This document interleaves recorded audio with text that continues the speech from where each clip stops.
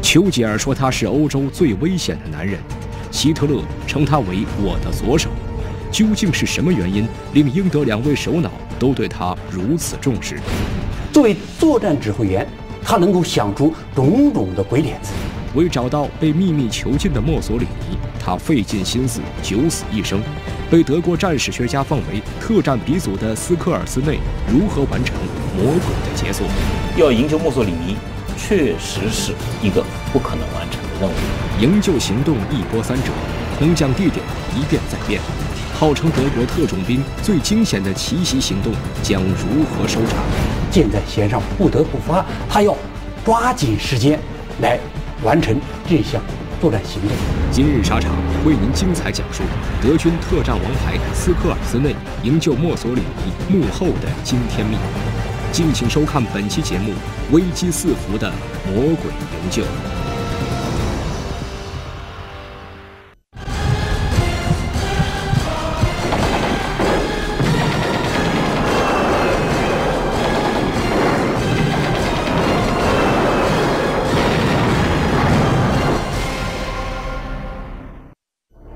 观众朋友，欢迎您收看本期沙场。美国国家博物馆里有一份二战历史资料，这份资料的开头是这样写的：他是个恶棍屠夫希特勒的代言人，整个欧洲最危险的男人。在二战刚刚结束的时候，盟军对这位欧洲第一恶人发出了通缉，在通缉令上明确标注着，这个人极其聪明，而且非常的危险。他可能身穿美军制服，乔装打扮，也可能是穿着便服，藏身于平民之间。他的左脸有一道延伸是嘴角的刀疤。如果有任何与这个人有关的消息，应当立即通报最近的情报部门，不得有误。间谍、刺客、破坏者，这三个词就是对纳粹德国党卫军头目奥托·斯科尔茨内的集中评价。作为他的成名作，斯科尔斯内曾经成功营救出被软禁在意大利大萨索山的独裁者墨索里尼，而德军却无一人受伤。这是德军历史上最为大胆的营救行动，被称之“魔鬼的杰作”。那么，这场行动究竟对于当时的德国起到了怎样的影响？斯科尔茨内的危险系数又到底体现在哪儿呢？一起走进今天的节目。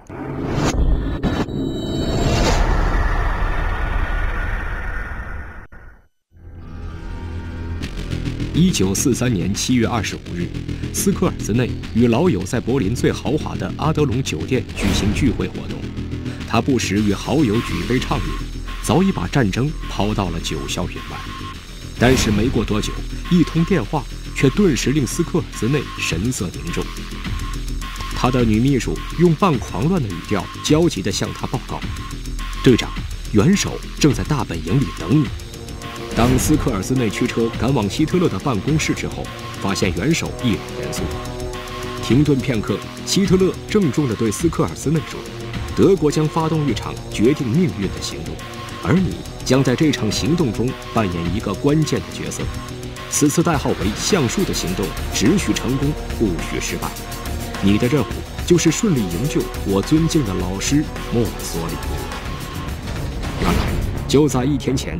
自诩意大利法西斯最高元首的墨索里尼，在一场争议性十足的国家会议上遇到了麻烦。二十五日凌晨二时十五分，意大利最高委员会开始就弹劾墨索里尼投票表决，结果十九人赞成，七人反对，两人弃权。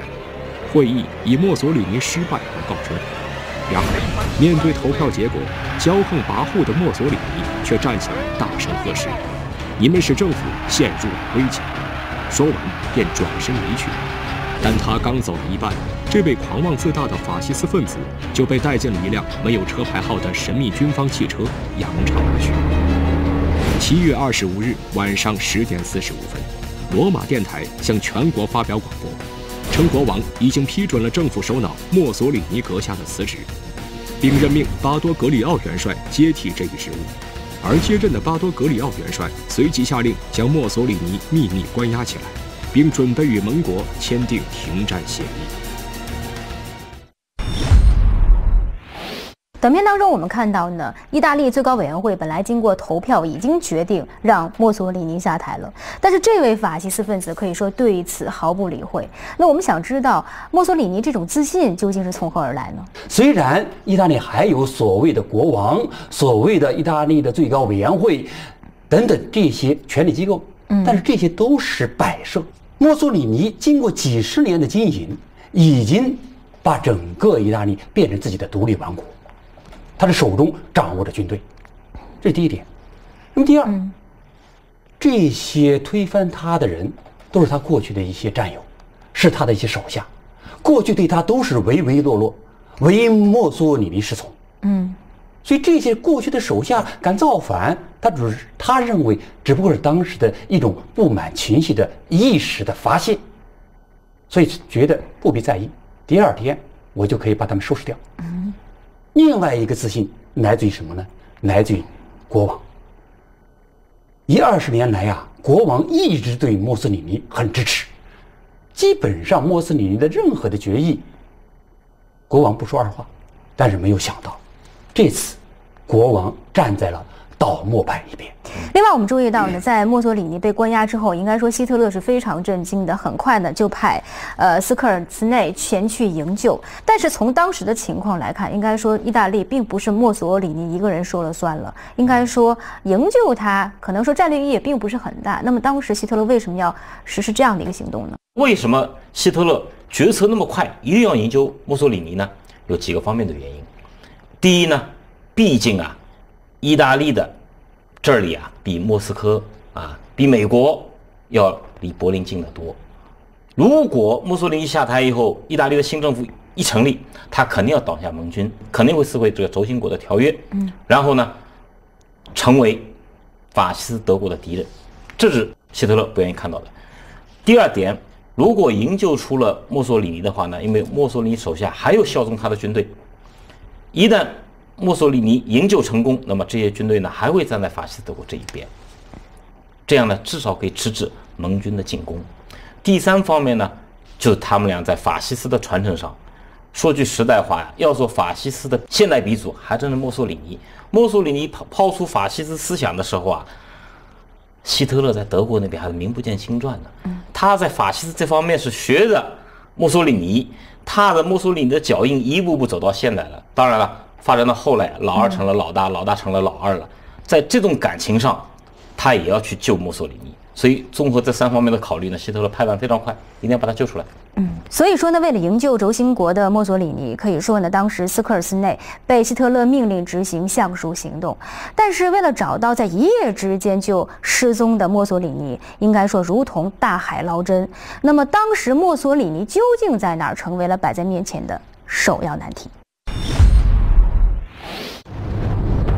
一九四三年七月二十六日，墨索里尼消失的第二天，斯科尔斯内便带领多名队员飞抵罗马。营救行动的首要问题是查明墨索里尼的去向，但是罗马市内关于墨索里尼的下落却众说纷纭。结果，营救小队经过三个星期的打探，仍然没有一点线索。最后，连斯科尔斯内都感叹道：“只能去算卦了。”然而。就在营救行动即将陷入绝望之时，斯科尔兹内从以前认识的水果商人那里探听到了一条有价值的情报。斯科尔兹内推断，彭查岛上很有可能突然关进了什么重要的政治人物。就在斯科尔兹内准备动身赶往彭查岛一探究竟的时候，德军情报人员传来了最新消息：称墨索里尼早已经不在彭查岛上。意大利政府担心德国人来解救他，早在八月六日便将其转移到了萨丁岛，先是将其幽禁在了该岛北端的一个小村子里，然后又转到了距离萨丁岛五公里、由重兵把守的海军基地马达莱纳岛。墨索里尼可能被囚禁在岛上一座叫科隆山庄的公寓。我们看到呢，经过四处的打听，斯科尔斯内终于从一个水果商那里判断出关押墨索里尼的地点。但是墨索里尼作为一个重要的人物，那么当时斯科尔斯内也知道不会很容易就掌握到他。那么为什么对于这样的一个市井小街的情报，他会如此深信不疑呢？那么我们就要分析当时的情况了。嗯，在当时为了找墨索里尼啊，斯科尔斯内已经带着他的那帮手下整整忙了几个星期了。嗯，在大海中捞出墨索里尼这滴小水，嗯，难度何其大呀！所以这个时候什么消息都没有，什么线索都没有。恰恰就在这个时候，这条消息，哎，水果商人提供了这个消息呢，对斯科兹内来说，好比是雪中送炭。嗯，哪怕他知道可能性很小，他也要重视这条线索。那么，以斯科兹内这么一个老牌的啊特种作战行动的一个指挥官，我想他会本能的做出决策，哪怕是。没有，我也先宁信其有，先试一下。另外，我们看到很快有消息说呢，呃，墨索里尼被转移到了萨丁岛上的科隆山庄。那我们想知道，对于墨索里尼他关押地点的迅速转移，是否也意味着当时可能意大利已经意识到了德国要对墨索里尼实施营救？当时的意大利的政府对此是有担心的。囚禁了墨索里尼之后，意大利的政府啊很紧张，因为我们知道当时的倒墨派啊之所以要。倒掉墨索里尼，是因为墨索里尼已经把意大利带向了失败的边缘。墨索里尼的存在，在某种程度上是对倒墨派倒向英美联军的一个重要的障碍。如果墨索里尼被德国人救出来，那么意大利是不是能够成功的投降，会打一个大大的问号。所以，为了防止德国人对墨索里尼的这种营救，他需要不断的变换关押的地点，这是第一点。第二点，就是意大利当时的政府啊，还担心墨索里尼的意大利的支持者营救墨索里尼。我们说，墨索里尼经营意大利二十多年，嗯，应该说他在意大利的势力是非常的雄厚的。嗯，并不是说所有的意大利人都反墨索里尼，还有很多亲墨索里尼的军官政客，他们想复辟法西斯的这种政权，这种野心还时时存在，这种危险也存在。一旦他们发现了墨索里尼的被关押的地点，他们也有可能铤而走险救出墨索里尼，在国内展开一场广泛的政治斗争。所以，对于墨索里尼的关押地点，一定要慎之又慎，时常的变换他的关押地点，对于保证墨索里尼被意大利政府始终掌控，非常的关键。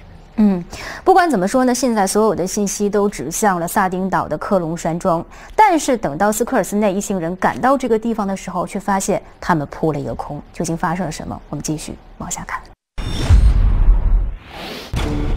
一九四三年八月二十八日，经过近一个月的地毯式搜寻，斯科尔兹内率领的营救小队终于抵达可能关押墨索里尼的科隆山庄。九月初的一天，猫捉老鼠般的追踪寻找，终于有了新的线索。德军情报人员截获了一封发给意大利内政部的电文，内容是：大萨索山附近的警卫部队布置完毕。发信者的名字古伊利引起了斯科尔兹内的注意。因为此人是意大利军方的一名将军，他长期以来负责墨索里尼的安全保卫。于是，斯科尔斯内的目光立即转向了罗马东北约一百六十公里的大萨索山。山上建有一座饭店，名叫坎波将军饭店。经过对各种情报的综合分析，斯科尔斯内认为墨索里尼很有可能就居住于此饭店。就在斯科尔兹内率领的营救小队开始搜寻关于该饭店的更多信息时，他们才发现，这个饭店在当时能够获取的所有军事地图上都没有标注。为此，斯科尔兹内与副官拉德尔只好找来一架空中侦察机，飞到坎波将军饭店上空，亲自绘制地图坐标。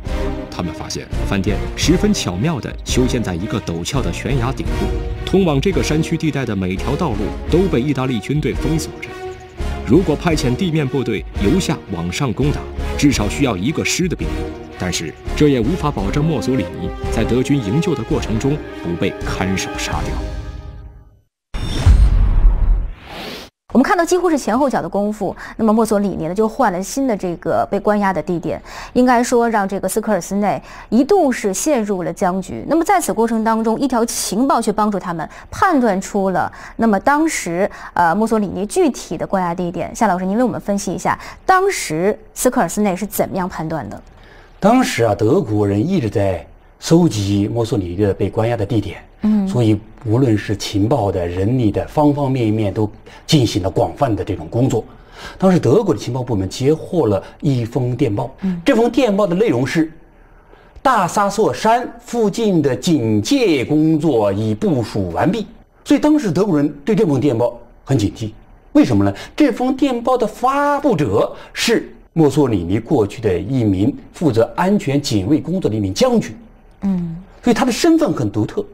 这名将军又跑到大沙索山附近，那么是不是墨索里尼有可能被关押在大沙索山？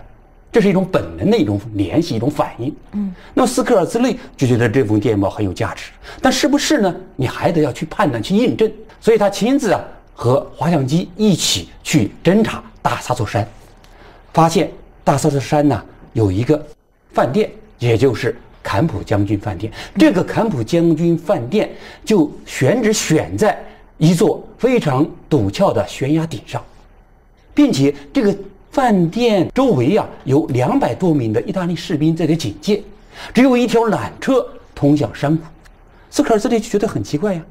一个孤零零的饭店，也没有旅客，是吧？也没有什么贵宾，嗯，怎么可能有两百多名的意大利的这个士兵进行把守？肯定关押的是一个重要的嫌疑犯。那么这个嫌疑犯有可能就是墨索里尼，嗯，所以他根据各种情况的综合的分析，认定这个饭店关押的人物百分之八九十就是墨索里尼。嗯，那么刚才夏老师也提到了，这个坎波将军饭店实际上是一个非常特殊的地方，因为首先呢，它在各大的这个军事地图上并没有标注，另外这个地方地势险要，那么看似这是一个不可能完成的任务，是这样的吗？这个看起来啊，确实是难以完成的任务。嗯，你看有几种方案，我们设想一下，第一呢，调集一定的兵力。强攻大萨索山，嗯，那么强攻的话，你需要一定的时间，没等你攻上去，或者人家把墨索里尼一刀给宰了，或者把墨索里尼呢转移场地又走了，你还得去茫茫的罗马再去找墨索里尼，嗯，这条否定掉了。第二呢，有人说，哎，我可以到缆车站呢，到缆车站，你还是要仰攻大扫除山，攻到饭店，这个过程时间也比较长，也不见能攻成功，因为你兵力使用少。第三个呢，人家说我坐缆车过去到饭店，那好办了。缆车它的车厢承载量有限的，你也就坐个八到十个人，你来一个缆车车厢，我就打掉你一个，这个也不可能。那么把地面的可能性都排除掉了。嗯，来自空中，空中第一是伞降，在大萨索山上呢，你伞降啊，由于山口的风比较大，嗯，你降下来，伞兵啊，还没等你降到饭店呢，都被吹散了，你很难准确的进行伞降。这样呢，会导致你的营救兵力分散，使整个营救行动失败。嗯，伞降也排除了，那么就机降，用滑翔机来降。问题是，整个饭店的修在一个悬崖上面，你滑翔落地的空间非常的小。嗯，这个问题就难了。所以从客观条件来看呢，要营救墨索里尼，确实是一个不可能完成的任务。但是不管怎么说呢，如果将这个墨索里尼活着带出呃坎波将军饭店，确实是比登天还难。那么最终斯科尔斯内能否完成相处行动呢？我们继续往下看。一九四三年九月八日，意大利法西斯正式向盟军投降。同一天，斯科尔斯内乘坐一架 HE 幺幺幺侦察机出现在大萨索山地区上空五千米的高空进行空中侦察。不过，就在他将这些冒着生命危险拍摄的照片冲洗出来之后，却发现了意想不到的真相。作战方案遭遇自己人质疑，斯科尔斯内的营救计划为何偏要不走寻常路？当时的很多老牌的那种将军呢，觉得太冒险，但是也没有其他的办法可行了。一路飞行，厄运连连。斯科尔斯内展开橡树行动，到底经历了怎样的生死时速？整个大环境再加上大萨索山那种极其险恶的客观条件，都基本上预示时刻之内这次行动啊是凶多吉少。更多精彩，稍后继续。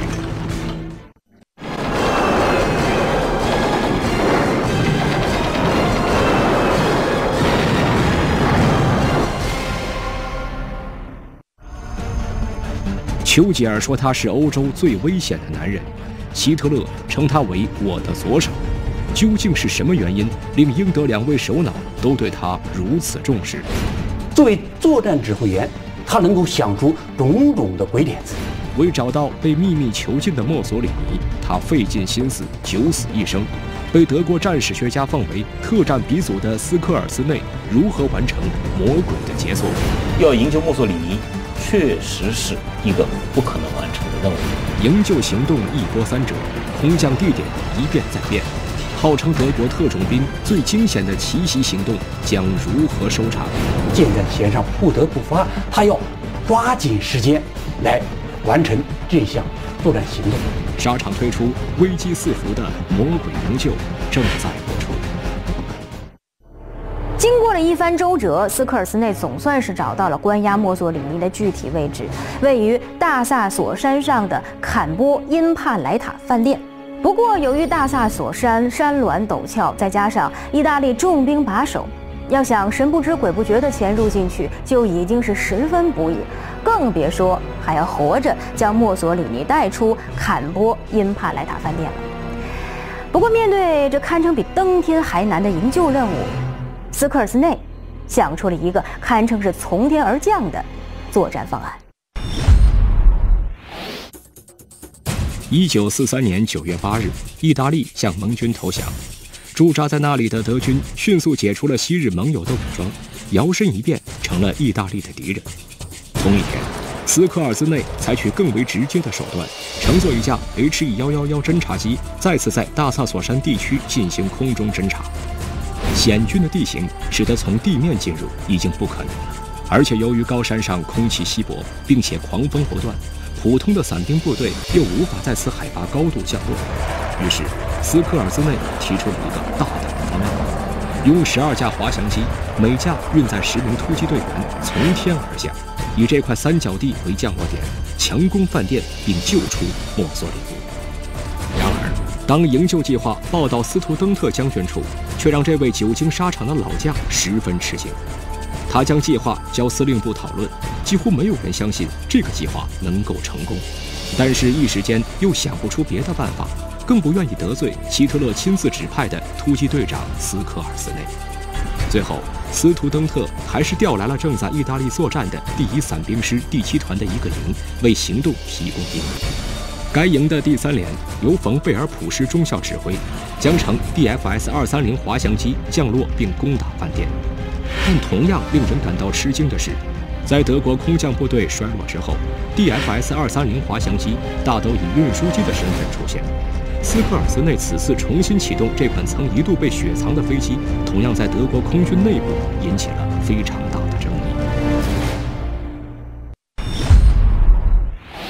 我们看到，对于斯科尔斯内提出的这种大胆的想法，应该说呢，在呃德军当中，很多呃久经沙场的老兵都是暗暗吃惊，甚至没有一个人支持他这样的一种观点。那么，为什么对于这种呃计划或者是方案，大家都不看好呢？刚才罗老师呢也分析了其中的一些原因，嗯，就是这个方案呢太冒险。第一，你使用滑翔机在坎波将军旁边的所谓的一个三角形地带着陆。这个看似用一个滑翔机来着陆，好像问题不大，但是几个几艘滑翔机要连续的着陆，你怎么样能够保证这样个安全，并且滑翔机降落之后，你能不能在短时间之内就能够缴掉警卫部队的这个枪械？嗯，这都是存在着很大的难题。第二，就是当时这个要捉活捉墨索里尼。这个难度表面上看是也是很大的，因为你不知道安全部队对墨索里尼他是怎么样的一个态度，是不是？意大利政府有这样的命令，一旦有人要劫持墨索里尼，就果断开枪杀死墨索里尼，枪毙他。你不知道意大利政府是不是有这个命令？如果有这个命令，你虽然能够成功的降落。哪怕只给意大利的士兵一分钟、两分钟，他也能够完成这个任务。你捉到一个、拿到一个死的墨索里尼，一点价值就没有，就宣告了你这场特种作战行动的失败。所以，对当时斯科尔兹的这种作战计划呀，当时的很多老牌的这种将军呢，觉得太冒险，但是也没有其他的办法可行了。嗯。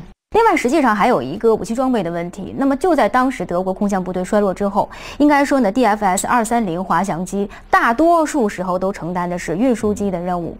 但是在此时，我们看到斯科尔斯内，呃，让这款滑翔机执行的是在饭店上空降落的任务。那么当时为什么他会做出这样的一个决定？他主要看中了三点。嗯，第一呢，德国人有经验，在二战的西方的军事强国中，德国。在空降方面呢是比较重视。第二个呢，这个飞机它的性能啊比较适合在这个这次行动中呃去采用。你看，比如说它的最大时时速，滑行时速达到了每小时一百八十公里。德国人一直对这种滑翔机在不断的改进，其中一个重要的改进非常重要，他给这个滑翔机啊已经加上了反向的减速火箭。用了这个火箭之后啊，它可以让这个滑翔机。滑行落地之后，在十五米之内停住，这个简直是为这次营救行动是量身定做的。嗯，你看它本身地域比较逼仄，我如果降落过程中一下点燃这个反向的减速火箭，它马上能停住，停住一下，边上转一下，停住一下转一下，很快就能降落。还有一条呢，就是 DFS 二三零飞机可以用德军的多种空军的飞机来，有的有的滑翔机啊，它要求比较高，我只能用这种飞机来。把握拖曳上空，而 DFS 二三零当时德军的好几种飞机都可以把它拖得飞起来，嗯，适用性比较广，所以这条优点呢，使得斯科尔兹内就看中了这个滑翔机。嗯，所以目前来讲呢，看来很多的基本的准备都已经做好了，但是俗话说世事难料，那么就在橡树行动开始的时候，很多的问题集中一下子爆发出来。接下来我们去看一下。营救行动计划于九月十二日的黎明时分开始，但却因故推迟了几个小时。由于德军亨舍尔 HS 幺二六拖曳机航程较短，必须在从法国南部的瓦朗斯基地飞到罗马途中做几次停留，这导致该机直到当天上午十点才抵达罗马南部的普拉提卡空军基地。然而，就在准备工作即将完成的时候，中午十二时，机场上空却突然响起了空袭警报。不一会儿，一队美国 B-25 轰炸机掠过机场上空，投下了十多枚炸弹，造成机场上的德军部分战机受损。直到十三时零五分，领头的一队 HS-126 牵引机才总算拖着一号和二号滑翔机顺利起飞。不过，牵引一号滑翔机的两架飞机在起飞不久，却在浓雾和厚云层中迷失了方向，不得不半途返回。这令斯科尔兹内乘坐的三号滑翔机成为了领航机。飞机时起时伏，在云层中穿行。由于滑翔机内的视野不好，而且非常闷热，几名队员相继出现了不同程度的晕机。大约一个小时之后，一路坎坷的突击小队机群纷纷抵达预定地点。斯科尔斯内命令滑翔机与牵引机脱钩，八架滑翔机兵分两路，从三千六百米扑向各自的目标。我们看到，首先呢是斯科尔斯内推迟了这个飞机的起飞时间，很快呢又遭到了美军轰炸机的光顾。那么卢老师究竟如何看待当时斯科尔斯内起飞时的外部环境？当时啊，整个外部的大环境对斯科尔斯内是极其不利的。我们知道，一九四三年呢，那个时候，在斯科尔斯内行动之前，盟军已经在西西里岛开始登陆了。嗯，墨索里尼被扣押之后，当月啊，七月十号左右被扣押，七月二十五号。意大利新政府已经开始跟盟军开始接洽，哎，我准备投降了。而投降协议里面呢，明确的规定，意大利今后呢，要拒绝给予德国任何进攻盟军的援助，而且意大利境内的基地、港口，包括机场，有盟军可以任意的使用。这个协定一使用以后啊。原来在意大利境内的德军都受到限制了，何况你那么小的特种部队？而且我们也看到了，就在斯科兹内要行动的当天，他还受到了盟军飞机的轰炸。所以整个大环境再加上大萨索山那种极其险恶的客观条件，就基本上预示着斯科兹内这次行动啊是凶多吉少。嗯。另外，我们看到，实际上飞机在飞行的过程当中也出现了很多问题，而且没有到达目标地点之前就集中爆发出了这些问题。我们能不能说，实际上也是斯科尔斯内啊，他没有充分的估计可能出现的这些状况？坦率说，斯科尔斯内的这个作战行动的方案应该是比较完备的。嗯，但是战场情况啊瞬息万变，任何一个指挥员他是不可能把所有的情况都考虑的完完全全。嗯，他不可能把未来可能要发生的事情都考虑到位。所以刚才罗老师就说，在盟军制空权的这种绝对的控制之下，他都不知道盟军的飞机、轰炸机什么时候来。几点几分要通过我所在这个地区，要投什么炸弹，哪个要有几架批次要进来，这是他不可能掌握的，他只能凭借过去的经验，哎，大概盟军的飞机什么时候来，投多少弹。那么第二就是斯科尔斯内的这种作战行动啊，它是非常的仓促的，也是非常的紧迫的，他也不可能把所有的事情都考虑到内，因为箭在弦上不得不发，他要。抓紧时间来完成这项作战行动，所以很多事情都不在他的掌控之内。嗯，所以说实际情况确实比斯科尔斯内之前预想要更加难度大。那么在此过程当中，我们说如果能够在这个戒备森严的饭店上成功降落的话，确实就像是在刀尖上跳舞一样。那么究竟斯科尔斯内能否成功的降落呢？我们继续往下看。就在斯科尔斯内的座机即将着陆时，驾驶员才发现，事先选定的这块三角地上不仅布满了石头，坡度也比之前估计的大。而此时，意大利士兵已经察觉到了斯科尔斯内座机螺旋桨的声音，开始朝着德军飞机降落的地点快速集结。一场与时间赛跑的危险降落摆在了斯科尔斯内面前。生死降落，命悬一线。斯科尔斯内座机能否在陡峭山峰完成最终降落？我的天哪，这个坡度原来跟预想中的相差这么大，这样给整个营救行动带来了成功营救，却陷入四面楚歌。斯科尔斯内如何破解上山容易下山难的困扰？斯科尔斯内，他之所以能够搅得风生水起，让盟军呐视他为最大的敌人，是因为斯科尔斯里这个人呐。有独到之处。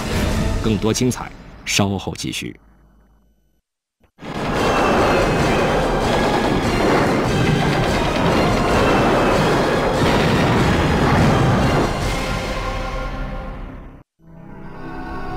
丘吉尔说他是欧洲最危险的男人，希特勒称他为我的左手。究竟是什么原因令英德两位首脑都对他如此重视？作为作战指挥员。他能够想出种种的鬼点子，为找到被秘密囚禁的墨索里尼，他费尽心思，九死一生。被德国战史学家奉为特战鼻祖的斯科尔斯内，如何完成魔鬼的杰作？要营救墨索里尼，确实是一个不可能完成的任务。营救行动一波三折，空降地点一变再变。号称德国特种兵最惊险的奇袭行动将如何收场？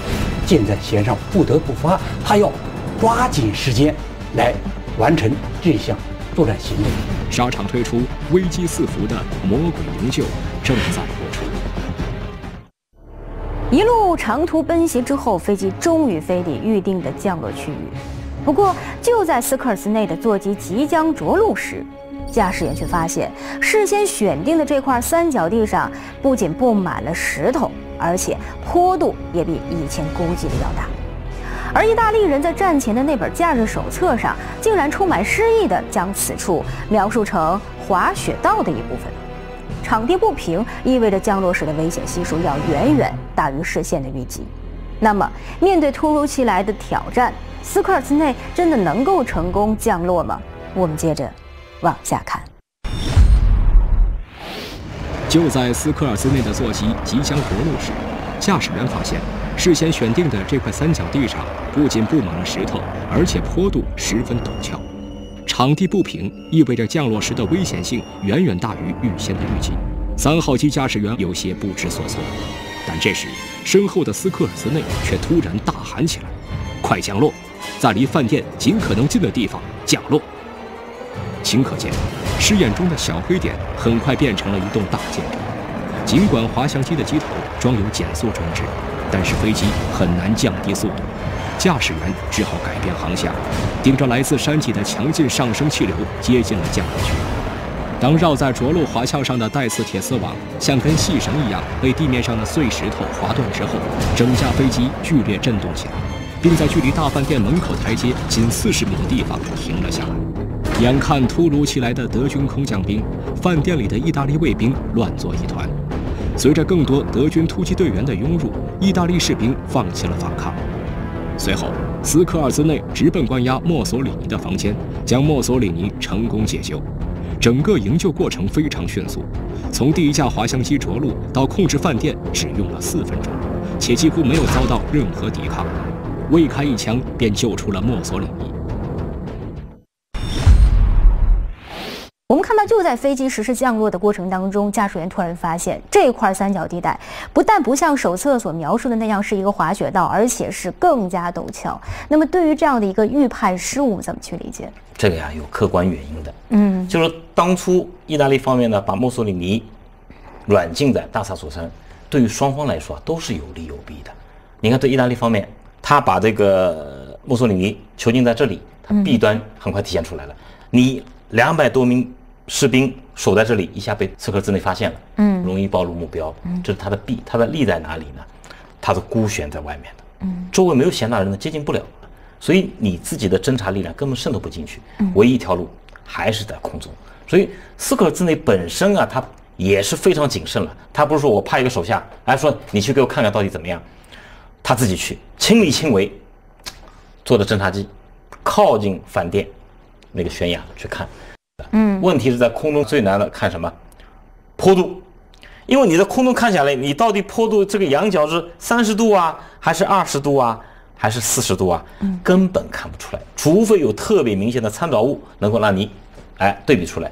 你或者或者说我竖根旗杆，根据太阳的照射的角度，看看它投影，也许能够看出来。这么空中一飞而过啊，根本就判断不出来，导致呢实际行动中发现，我的天哪，这个坡度原来跟预想中的相差这么大，这样给整个营救行动呢带来了难度。嗯，但实际在实施的过程当中，应该说出现了难以预料的一幕，没费一枪一弹就救出了墨索里尼。对于这样的一个情况，我们怎么去理解呢？我认为啊，最大的功劳在于意大利的士兵，就是意大利的士兵呢，应该说根本没有完全的执行好囚禁墨索里尼的这个任务。嗯，意大利士兵他非常的可以说悠闲，他基本上是在度假。嗯。我们知道，在第二次世界大战中，意大利军队的战斗力是非常的低的。斯科尔兹利这次作战行动是在中午，所以意大利人有午睡的习惯。哎，一边囚禁着墨索里尼，墨索里尼睡觉，我们也睡觉。嗯，哎呀，喝喝咖啡，喝喝茶，聊聊天，睡睡觉。嗯，所以当斯科尔兹利从天而降的时候，根本没有任何的心理准备。第二点就是意大利对于如何处置墨索里尼也没有一个明确的指示。就是对这种行动，对这种方案有可能出现，意大利的警用部队怎么办？他没有方案，是打死墨索里尼还是怎么着？还是就地反抗？意大利的警戒部队没有任何的反应，所以只有几个士兵忙着到这个电报那儿去，然后准备打电话，被斯科尔斯勒用枪托把这个电报机给他砸坏。除此之外，可以说是呆若木鸡。嗯，所以在不到四分钟之内就完成了这次特种作战行动。嗯，等于说在营救的过程当中，斯科尔斯内还是非常顺利的。那么最终在搭载这个墨索里尼的过程当中，是否还像之前那么顺利呢？我们接着往下看。救出墨索里尼之后，接下来的任务是将其安全送走。缆车站已经被德军占领，但是山谷对面仍有大批义军防守，无法突围下山。由于所有的无线电装置都被破坏，他们已无法与总部取得联系，不知道德军是否已经占领了阿奎拉机场。此时，所有希望都寄托在正在饭店上空盘旋侦察的一架小型单发菲斯勒惯式侦察机上。这架飞机是斯图登特将军专门派来观察营救行动情况的。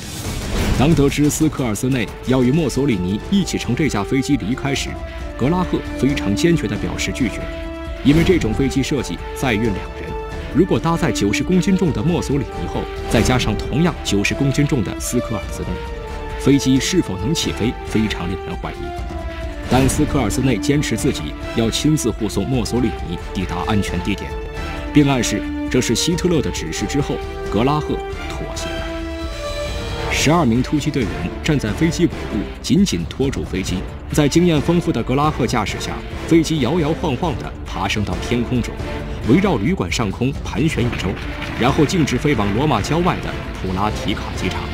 橡树行动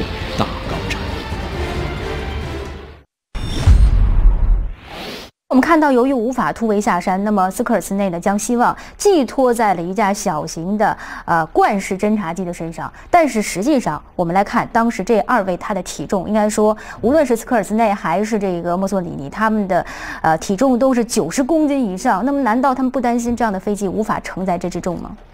这一点呢，实属无奈之举。嗯，实际上呢，非常的冒险。这一点从这个惯式侦察机的飞行员盖拉赫的反应就可以看出来了。他本身啊，不参加直接的营救行动，他驾驶着侦察机来观察整个作战行动。就直接营救墨索里尼这一点来说，他是来打酱油的。好了，你现在把我拉进来，让我来执行这个那么危险的任务，嗯，我是反对的。嗯，你让我带个照相机可以，带一个九十公斤的大胖子墨索里尼，他比较肥硕，嗯，带一个九十公斤的壮汉斯科兹内，还要带墨索里尼随身的用品啊，还有行李呢，那飞起来就有点困难了。问题在山上。风这么大，而且啊，它起飞的跑道是不够的，这么短的距离，这个跑道是临时给它平整起来的。嗯，你磕磕碰碰起来，它根本加速不到它起飞所需要的初速度，所以这点是非常危险的。好在呢，它本身饭店在悬崖上，一冲出去就往下掉了，下面是悬空的，悬空的山谷里有风起来，然后它降落还有一个过程，便于它在这个过程中呢，达到升空的初速，这样才摇摇摆摆啊。一个侦察机载着两个壮汉啊，载着一个壮汉，一个胖子，嗯，脱离险境，应该说还是非常悬的。嗯，最终我们看到的橡树行动让斯科尔斯内是名声大噪，由此呢，他也被称为是欧洲最危险的男人。但是就是这样一位欧洲最危险的男人，我们发现，在二战结束之后，他顺利逃亡了，包括在一九七五年才最终去世。呃，给我们的感觉就是盟军拿斯科尔斯内是没有办法的。为什么会出现这样的状况？斯科尔斯内啊，应该说是一个传奇的一个人物。嗯，斯科尔斯内被誉为欧洲最危险的人物。嗯，但是斯科尔斯内，他之所以能够搅得风生水起，让盟军呢视他为最大的敌人，是因为斯科尔斯内这个人呢有独到之处。第一，我们知道斯科尔斯内他作为一个特种作战的指挥官，他胆大心细。作为一个特种作战指挥官，首先你自己武功要高强。斯科尔斯内他本身剑术很高，是吧？长得比较高大，一米九二。嗯，是吧？身材魁梧，然后经过各种各样的训练，作为作战指挥员，他能够想出种种的鬼点子。嗯，那么第二就是斯科尔斯内啊，作为一个作战指挥员呢，他是身先士卒，他总是靠前指挥，他不是说一般的指挥员，我在办公室，嗯，列一个作战方案，你们去执行任务，而是亲自带领着突击队员一起，所以突击队员呢。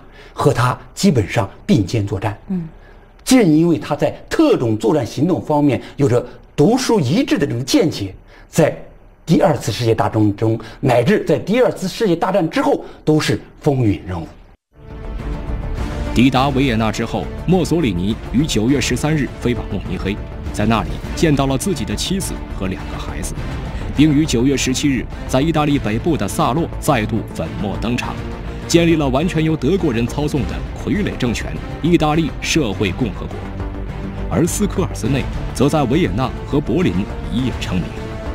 欧洲各国的广播电台都在一遍遍地播放着关于这次营救的新闻，他的名字也以最大号的醒目字体出现在报纸上，甚至连丘吉尔也在下院演说中提到了斯科尔斯内的名字，称其为欧洲最危险。印度公主变身英军间谍，从奢华安逸到危机重重，努尔选择命运转变的背后究竟有何隐情？培训屡屡不合格，骄傲公主成为笨学员，入错行的努尔却为何会被指派重要任务？粗心公主屡闹乌龙，偏偏逢凶化吉，传奇经历是偶然还是另有隐情？沙场敬请收看。